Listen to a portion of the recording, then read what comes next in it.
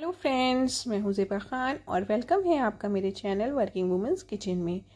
आज मैं बनाने जा रही हूँ प्याज की लच्छेदार पकौड़े, जो बहुत ही कुरकुरे, बिल्कुल मार्केट में मिलने वाले पकौड़ों की तरह ही बनाऊँगी। तो चलिए शुरू करते हैं इसको बनाना। तो इसके लिए यहाँ पर मैंने दो मीडियम साइज़ की प्याज ली हैं और उनको बारीक चॉप कर लिया है। अब देख सकते हैं, मैंने इसको जो काटा है वो लंबे लंबे पीसेस में कट किया है। अब साथ ही में मैं ले लूँगी एक आलू आलू का साइज़ आप देख सकते हैं। इसको बस अच्छे से ग्रेट कर लेना है और उसके बाद जितना इसका वाटर हो, उसको प्रेस करते हुए स्क्वीज़ कर लेना है। तो ये देखिए, इसके लंबे लंबे लच्छे इसके भी रेडी हो गए हैं।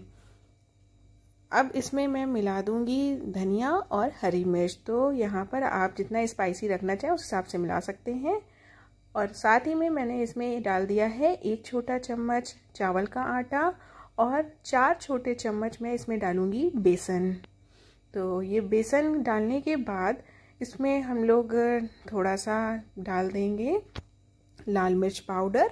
तो लाल मिर्च पाउडर में अगर आप इसका चिली फ्लेक्स का यूज़ करती हैं तो ज़्यादा अच्छा फ्लेवर आता है। तो आप चिली फ्लेक्स ही डालें, साथ में इसमें डाल दिया है मैंने आधा चम्मच नमक। अब इसमें इसको बिना पानी डाले हुए सारी चीज़ों को आपस में मिलाना है। पानी का यूज़ बिल्कुल भी नहीं करें, वरना तो आपके जो पकौड़े बनेंगे, वो अच्छे नहीं बनेंगे, इसलिए बिना पानी डाले ही देखिए ये मैंने सारे मिक्सचर को अच्छे से आपस में मिला लिया है। तो बस इस तरह से आपका मिक्सचर रेडी हो जाएगा। अब एक कढ़ाई लें और उसमें ऑयल अच्छे से गर्म कर लें। ऑयल जब गर्म हो जाए तो इसमें छोटे छोटे से पकौड़े की साइज़ का बस इसमें मिक्सचर डालते जाएँ और जितना मिक्सचर आ सकता है एक बार में पहले उसको अच्छे से कढ़ाई में डाल दें। तो इस तरह से मैंने छोटे छोटे से पीसेस इसमें डाल दिए हैं।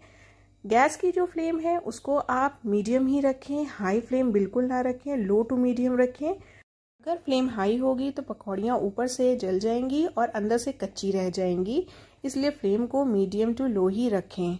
बस इस तरह से एक बार पहले पकौड़ियाँ सारी डाल दें और उसके बाद जब हल्की सी नीचे से गोल्डन होने लगें तो इनको फिर टर्न करें। तो सभी पकौड़ियों को फिर दूसरे साइड से भी अच्छे से फ्राई कर लेना है। इनको गोल्डन होने तक के सभी पकौड़ियों को अच्छे से फ्राई करें ताकि इनकी हर प्याज और जो अंदर का मिक्सचर है, वो बहुत अच्छे से क्रिस्प हो जाए और बहुत ही क्रिस्पी ये रेडी हो। तो ये देखिए थोड़ा सा टाइम लगेगा, लेकिन आप मीडियम फ्लेम में करेंगे तो बहुत ही अच्छी पकौड़ियाँ रेडी होंगी। तो ये देखिए, बिल्कुल लच्छेदार पकौड़ियाँ जैसे मार्केट में मिलती हैं। सेम इसी तरह की ये रेडी हो गई हैं। अब मैं इनको ऑयल से बाहर निकाल लेती हूँ और फिर मैं इसको एक सर्विंग प्लेट में सर्व करूँगी। इनको एक छन्नी की हेल्प से बाहर निकालें ताकि इसमें जितना भी एक्सेस ऑयल हो, वो सभी स्ट्रेन हो जाए और बाकी बचे हुए मिक्सचर को भी फ्राई कर लें। तो सभी पकौड़ियों को अब मैं एक सर्विंग प्लेट में रख दूँगी और फिर उसके बाद हम लोग गर्मा गर्म इसको सर्व करेंगे ताकि सभी लोग इसको गर्म गर्म में खाएँ और इन्जॉय करें।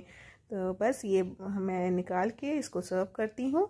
अगर आपको मेरी ये वीडियो पसंद आई हो तो इसे लाइक कर दीजिएगा। चैनल पे नए हो तो चैनल को सब्सक्राइब कर लीजिएगा एंड बेल आइकन दबाना बिल्कुल नहीं भूलिएगा ताकि आपको नए नए वीडियोज़ की नोटिफिकेशंस मिलती रहे। तो ये देखिए ऊपर से बहुत ही क्रंची और अंदर से बहुत ही सॉफ्ट रेडी हुई है।